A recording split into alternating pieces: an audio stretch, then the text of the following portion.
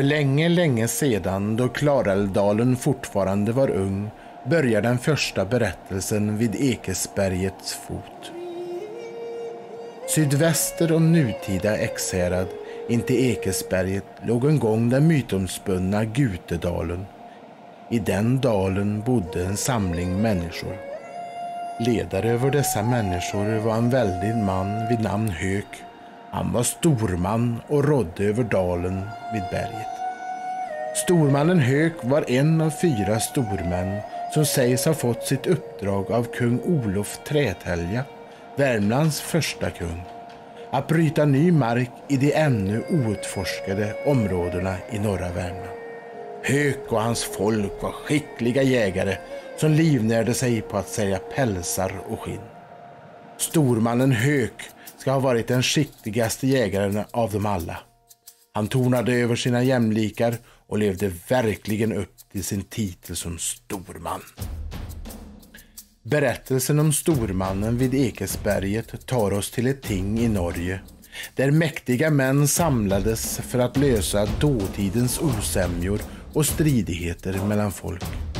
Tinget var det som bestämde. Deras beslut var det som gällde. Men Hög, han var ett undantag. Det sägs att han ska ha fått ett nej som svar gällande en fråga han hade lagt fram inför tinget. Stolt och envis som han var tog inte Hög detta svar särdeles bra. Vrede fyllde den väldige mannen och han tappade sitt förstånd. När dammet hade lagt sig låg en av tingets män livlös på golvet. Hök hade förseglat sitt öde. Tingsmännen blev rasande och skickade sina bästa krigare efter Hög som fick fly. Genom urskogar, över hed och dal löpte han oavbrutet, men krigarna var hack i häl. De visste vilket berg den väldige stormannen rådde över. Sent på natten, efter många nätters löpande, nådde Hög Ekesbergets fot, sitt hem. Där ställde han sig på pass vid sin koja, ett stycke norr om Gutedalen, där hans folk bodde. Han la en stor sten i sin säng och gjorde upp en eld som lockbete. Hök skulle försvara sitt folk genom att utkämpa denna strid själv. Oavsett hur det skulle gå så väntade en sagolik fest efter denna strid. Antingen hemma i Gutedalen hos sitt folk eller hemma hos asarna i deras stora sagolika sal. Nu var det bara att vänta. Stormannen var redo. De norska krigarna kom inte långt därefter. De tog lockbetet, stormade in i Högs koja och högg bokstavligen i sten. Bakom en väldig ek med förspänd båge flög nu Hög fram. Han sköt många av tingets krigare med sin stålbåge innan han till slut själv överrumplades och stupade där vid berget. Över tusen år senare, då man öppnade ett gravröse på bergets topp, hittar man en bekant båge omfamnat av ett nästan tre meter långt skelett. När denna grav öppnades vaknade kort därefter två rivaler till liv efter en lång slumran.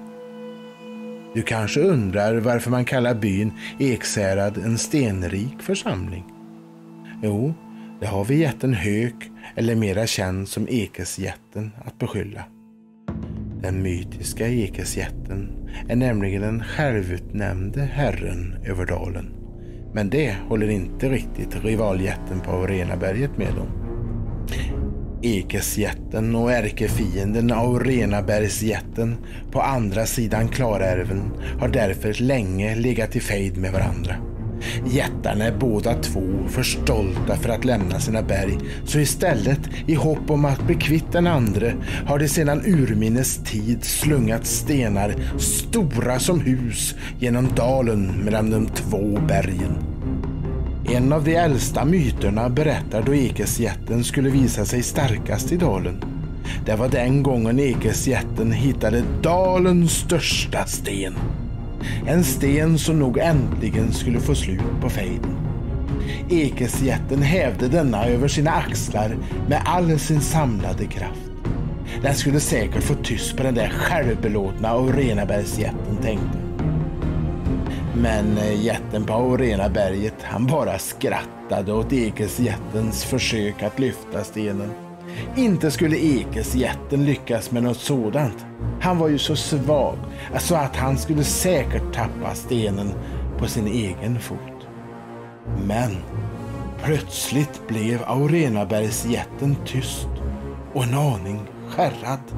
För mot Aurenaberget hade nu Ekesjätten slungat iväg den väldiga stenen med en enorm kraft.